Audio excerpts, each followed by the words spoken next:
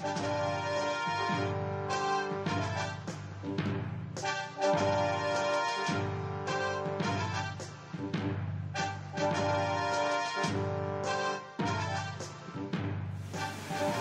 folks, thanks for joining me today on Dragon's Teeth Gaming channel and welcome also to our new subscribers. Thanks very much for signing up.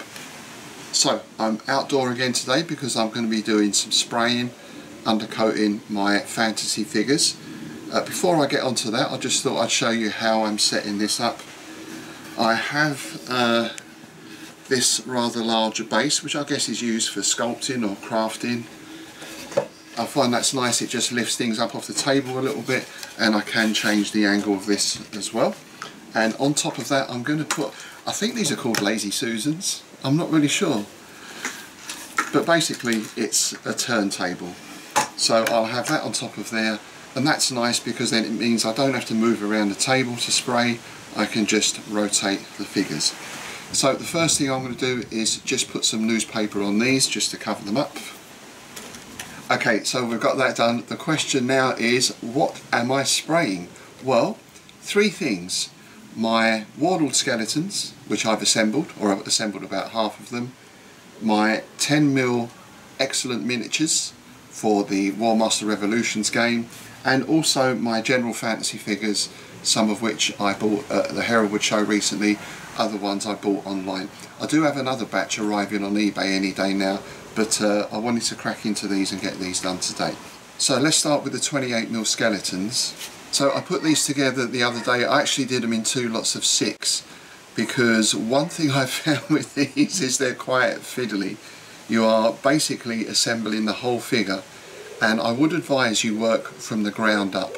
So get your bases sorted and then the feet go first. And as you might be able to see here, the feet have this sort of bar between them I'd very much advise that you leave that in place because it really helps with lining up the figure with the feet. There are small pegs on the end of the legs and small holes in the feet and if you keep that bar in place they line up pretty easily. Of course you can cut the bar away after. So I built them from the feet up. As you can see we've got the base, the feet, the legs go in and then the ribs I did the arms separately so I did the left arm on each figure and then I did the right arm so I was really sure that the glue had dried before I moved on to the other side because at first I did try putting two arms on one figure and of course when I adjusted one I knocked the other one and that moved. And then the head or the skull sits on top. I have to say these skulls have got some great expressions, really a lot of character in these figures though as I said at the start, I did find them extremely fiddly. It was kind of strange because some parts just fitted in straight away first go and other parts I really had to wiggle around a little bit. But in a way this worked in my favour because particularly with some of the heads it meant that they went on at slightly odd angles.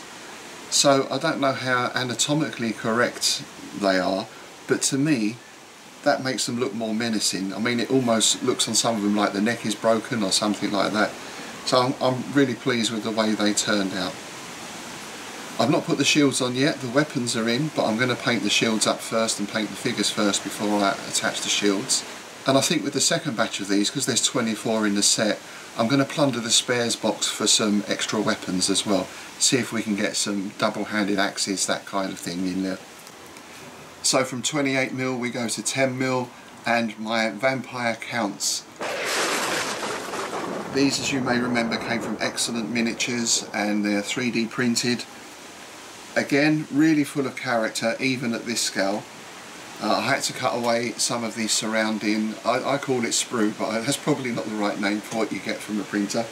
So I had to clean them up a little bit and what I've done for ease of painting as you can see here I've used double-sided tape and I've put them on those uh, what I call lolly sticks that I got recently from Hobbycraft. So that should make undercoating and painting a lot easier. And then we go back to 28mm for my character figures for my fantasy skirmish game. I think you've seen all these before, maybe with the exception of one, because I did see uh, a very nice sort of Japanese type demon, I suppose you call it, the other day, and I had to get that as well. But you've seen the spider and the, uh, the wizard and the wagon and so on. So the next question is what colour am I going to use to undercoat? Well for the 28 mils I like to use black. For the 10 mils I'm probably going to use white because a lot of them are skeletons and also I'm a bit worried that black will obscure a lot of the detail when I'm painting whereas white should help everything stand out and of course I can put a wash and everything else on. So now the other thing I found is the other day I bought a few tins of undercoats and blacks and white uh, and some varnish stuff and they have simply disappeared. I can't find them anywhere. At the moment because we're organising the Innsmouth Literary Convention which takes place in well just barely two weeks time the house is full of boxes. We've got posters, programs, t-shirt, merchandise, books, all sorts of stuff we're getting ready for the event. So those cans are probably in one of the 85 boxes that are piled around the house at the moment. Uh, but I did manage to dig out a couple of uh, other tins from the shed. So I hope I've got enough here to get me through all of these figures today. I have already done some of the earlier figures that I bought, the first batch of fantasy figures, as you can see here. So let's repeat the same process with our 28mm skeletons. So as you can see I've mounted these on the double-sided tape on one of those lolly sticks as well. Um, I find with larger figures it's not too bad but these are quite flimsy figures in a sense. There's not much meat on them I suppose. Uh, I sometimes find if you're spraying you can actually knock the figure over but this also allows for much better handling. I don't have to touch the figure at all. So let's start with our black spray.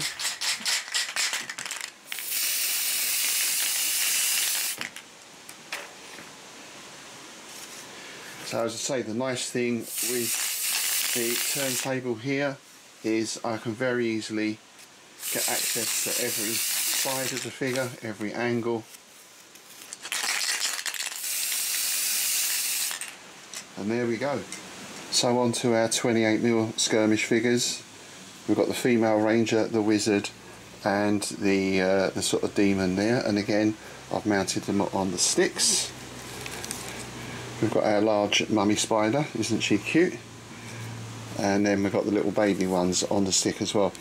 Uh, we were talking about spiders the other day, fun enough, in one of my classes in arachnophobia and one of the ladies was saying of course you can get therapy and treatment to overcome arachnophobia. And she said uh, the final thing they have you do is to eat a live spider. Is that real? I sort of said to her, you're not really selling it to me. anyway, these little plastic ones I can handle, so no need to eat any of those. And we've got that prison car or prison wagon as well, which I've now glued together. That went together really easily. No cleanup or anything required on that. So let's get that done as well.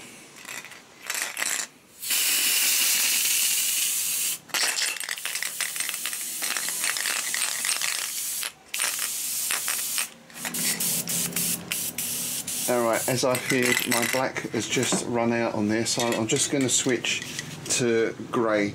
Not ideal, but at least it means I'll get them undercoated today.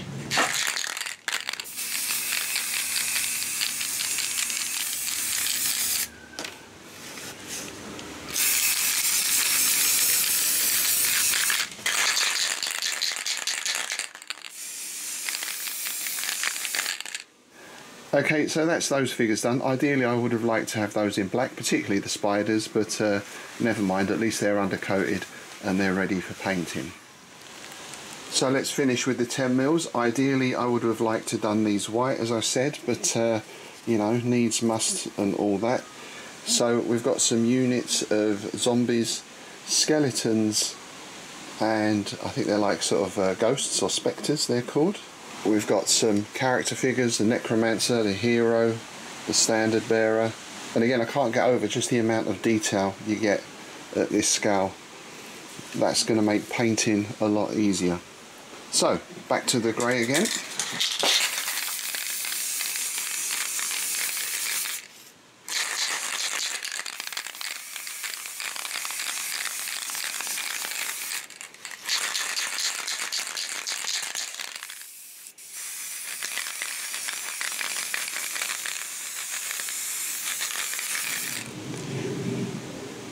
And there we go just about enough in that tin to do those just scrape through Uh, actually, that's not too bad. It's a fairly light grey, so it's not quite the white I wanted, but uh, you know, that'll give me a decent base to start my painting on.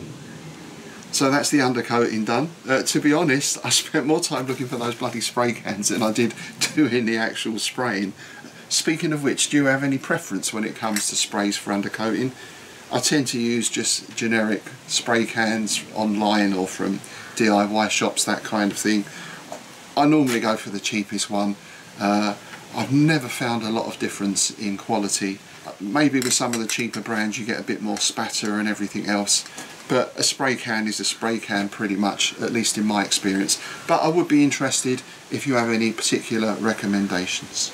So that's it for today. Thanks again for joining me. And as always, if you have any comments, questions or suggestions, please do let me know. Thanks if you already have subscribed and if you haven't please click like, share and the subscribe button below. It really helps the channel to grow.